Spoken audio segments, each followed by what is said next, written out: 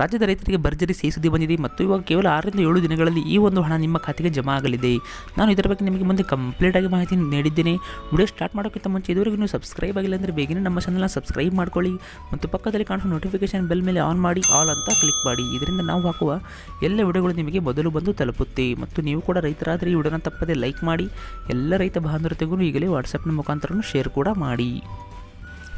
Hi friends ನೀವು ಕೂಡ ಏನಾದರೂ ರೈತರಾಗಿದ್ದರೆ, ತಪ್ಪದೇ ನಮ್ಮ ವಿಡಿಯೋನ ಲೈಕ್ ಮಾಡಿ ಮತ್ತು ನನಗೆ ಕಮೆಂಟಲ್ಲಿ ಎಸ್ ಅಂತ ಒಂದು ಕಮೆಂಟ್ ಮಾಡೋದ್ರಿಂದ ನಮಗೊಂದು ಉತ್ತಮ ಫೀಡ್ಬ್ಯಾಕ್ ಕೂಡ ಸಿಗುತ್ತೆ. ಮತ್ತು ನಿಮ್ಮ ಮನೆಯಲ್ಲಿ ರೈತ ಸದಸ್ಯರಿದ್ದರೂ ಕೇವಲ ನನಗೆ ಜಸ್ಟ್ ಒಂದು ಎಸ್ ಅಂತ ಕಮೆಂಟ್ ಮಾಡಿ. ಇವಾಗ ಮತ್ತೆ ನಮ್ಮ ರಾಜ್ಯದ ರೈತರ ಒಂದು ಸಹಕಾರಿ ಬ್ಯಾಂಕ್ನಲ್ಲಿರುವ ಸಾಲ ಮನ್ನಾದ ಬಗ್ಗೆ ಘೋಷಣೆ ಕೂಡ ಬಂದಿದೆ. ಹೌದು ಫ್ರೆಂಡ್ಸ್ ನರೇಂದ್ರ ಮೋದಿಯವರ ಸರ್ಕಾರದಿಂದ ರಾಜ್ಯದ ರೈತರಿಗೆ ಹಲವಾರು ಯೋಜನೆಗಳನ್ನು ಜಾರಿಗೆ ಮಾಡಿದ್ದಾರೆ. ಮತ್ತು ಆ ಒಂದು ಯೋಜನೆಗಳ ಬಗ್ಗೆ ನಿಮಗೆ ಮಾಹಿತಿ ಇಲ್ಲಾಂದರೆ ಇಲ್ಲಿ ಮೇಲೆ ಕಾಣಿಸುವ ಆಯ್ ಬಟನ್ ಮೇಲೆ ಒಂದ್ಸಲ ಕ್ಲಿಕ್ ಮಾಡಿ ಆ ಒಂದು ಮುಖ್ಯ ಯೋಜನೆಗಳನ್ನು ನೀವು ನಮ್ಮ ಈ ಒಂದು ಚಾನಲ್ನ ಮುಖಾಂತರ todo ಮತ್ತು ಈಗ ಯಡಿಯೂರಪ್ಪನವರಿಂದ ಕೇಂದ್ರ ಸರ್ಕಾರಕ್ಕೆ ಮನವಿ ಕೂಡ ಮಾಡಿದ್ದಾರೆ. ಈ ರಾಜ್ಯದಲ್ಲಿ ಸಹಕಾರಿ ಬ್ಯಾಂಕ್ನಲ್ಲಿರುವ ಸಾಲದ ಮೊತ್ತ ತುಂಬಾ ಇರೋದರಿಂದ ಮೊದಲು ಸಹಕಾರಿ ಬ್ಯಾಂಕ್ನಲ್ಲಿ ಎಲ್ಲ ಒಂದು ಸಾಲ ಮನ್ನಾ ಮಾಡಲು ಒಂದು ಸಾವಿರ ಕೋಟಿ ರೂಪಾಯಿಯಷ್ಟು ಹಣವನ್ನು ಕೇಂದ್ರ ಸರ್ಕಾರಕ್ಕೆ ಬಿಡುಗಡೆ ಮಾಡಿ ಎಂದು ಯಡಿಯೂರಪ್ಪನವರು ಕೇಂದ್ರಕ್ಕೆ ಮನವಿನ ಮಾಡಿಕೊಂಡಿದ್ದಾರೆ. ಇದರಡಿ ಅವರು ಒಂದು ಸಾವಿರ ಕೋಟಿ ರೂಪಾಯಿ ಕೂಡ ಇವಾಗ ಬಿಡುಗಡೆಗೆ ಸಿದ್ಧತೆಯನ್ನು ಮಾಡಿದ್ದಾರೆ. ಮತ್ತು ಇದು ಆದಷ್ಟು ಬೇಗ ಕರ್ನಾಟಕದ ಎಲ್ಲ ಒಂದು ರಾಜ್ಯದ ರೈತರ ಖಾತೆಗೆ ಅವರ ಒಂದು ಸಾಲ ಮನ್ನಾದ ರೂಪದಲ್ಲಿ ಬರಲಿದೆ. ಮತ್ತು ನೀವು ಕೂಡ ಏನಾದರೂ ಸಾಲ ಮನ್ನಾಗೆ ಏನಾದರೂ ಅರ್ಜಿನ ಹಾಕಿದರೆ ನನಗೆ ಈಗಲೇ ಕಮೆಂಟಲ್ಲಿ ಎಸ್ ಅಂತ ಕಮೆಂಟ್ ಮಾಡಿ.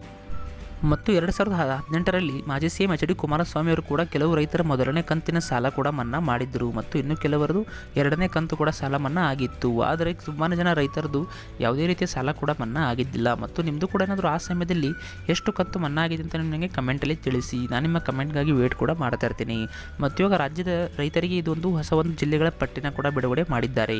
ಇದರಲ್ಲಿ ಸಹಕಾರಿ ಬ್ಯಾಂಕ್ನಲ್ಲಿರೋ ಸಾಲ ಮನ್ನಾ ಉತ್ತರ ಕರ್ನಾಟಕದಲ್ಲಿ ಹೆಚ್ಚಿಗೆ ಇರೋದರಿಂದ ಅವರು ಮೊದಲು ಈ ಒಂದು ಉತ್ತರ ಕರ್ನಾಟಕದ ಎಲ್ಲ ಒಂದು ಜಿಲ್ಲೆಗಳ ಒಂದು ಪಟ್ಟಿನ ಬಿಡುಗಡೆಗೆ ಮಾಡಿದ್ದಾರೆ. ಹೌದು ಫ್ರೆಂಡ್ಸ್ ಇದರಲ್ಲಿ ಹುಬ್ಬಳ್ಳಿ, ಧಾರವಾಡ, ಕೊಪ್ಪಳ, ಗಂಗಾವತಿ ಮತ್ತು ಗದಗ್, ರಾಯಚೂರು, ಬೀದರ್, ಗುಲ್ಬರ್ಗ ಆಗಿರ್ಬೋದು ಮತ್ತು ಬಿಜಾಪುರ ನಂತರ ಬೆಂಗಳೂರಿನ ಕೆಲವು ಹಳ್ಳಿಗಳು ಇದರಲ್ಲಿ ಕೂಡ ಬರುತ್ತೆ. ಮತ್ತು ಮಂಡ್ಯ ಜಿಲ್ಲೆ ಮತ್ತು ಚಿಕ್ಕಬಳ್ಳಾಪುರ ಮತ್ತು ಕೊಡಗು, ಬೆಳಗಾವಿ ಇವೆಲ್ಲವೂ ಸ್ವಲ್ಪ ನೆರೆ ಸಂತ್ರಸ್ತರ ಎಲ್ಲ ಒಂದು ಊರು ಕೂಡ ಆಗಿರೋದ್ರಿಂದ ಇಂಥ ಒಂದು ಎಲ್ಲ ಒಂದು ಜಿಲ್ಲೆಗಳಲ್ಲಿ ರೈತರ ಸಹಕಾರಿ ಬ್ಯಾಂಕ್ನ ಎಲ್ಲ ಒಂದು ಬೆಳೆ ಸಾಲ ಕೂಡ ಮನ್ನಾ ಮಾಡಲು ಹಣವನ್ನು ಬಿಡುಗಡೆಗೆ ಸಿದ್ಧತೆ ಮಾಡ್ತಾ ಇದ್ದಾರೆ.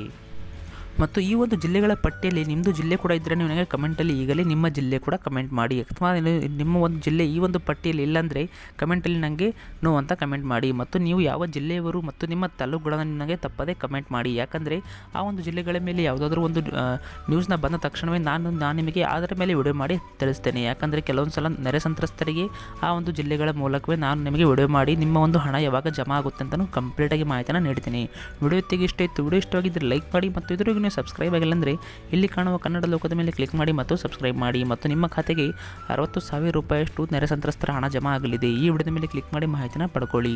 ಮತ್ತೆ ಸಿಗ್ತೀನಿ ಅಲ್ಲಿವರೆಗೂ. Bye thank you for watching